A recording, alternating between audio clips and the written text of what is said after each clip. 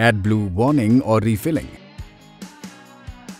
Car से हानिकारक gas को कम करने के लिए डीजल एग्जॉस्ट फ्लूइड DEF या एड ब्लू को नियमित अंतराल पर प्रत्येक M G B S six diesel वाहन में डाला जाता है।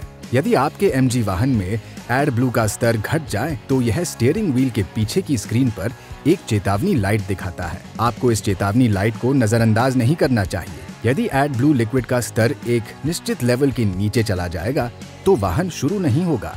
यह ध्यान रखना महत्वपूर्ण है कि डीजल के विपरीत आपको कार फिर से शुरू करने से पहले एड ब्लू स्तर को पूरी तरह से भरने की आवश्यकता है।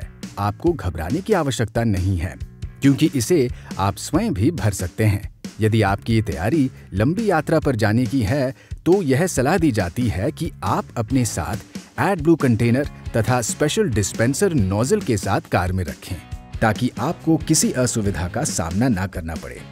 अपने वाहन में एड ब्लू भरना बहुत ही आसान है। इसकी शुरुआत एड ब्लू टैंक को ढूँढने से करें, जो कि डीजल टैंक फ़िल्टर के साइड में दिया गया है। अब टैंक का ढक्कन खोलने से पहले आपको डिस्पेंसिंग के लिए एड ब्लू कंटेनर तैयार रखना चाहिए। कैप खोलकर कंटेनर की सील हटा लें और नोजल अटैच कर लें। इसके बाद एड ब्लू लिक्विड को टैंक में डाल दें। प्रॉपरली अटैच करने के बाद एड ब्लू फिलिंग टैंक की कैप को खोलें और अपने एमजी में एड ब्लू लेवल का टॉप अप करें।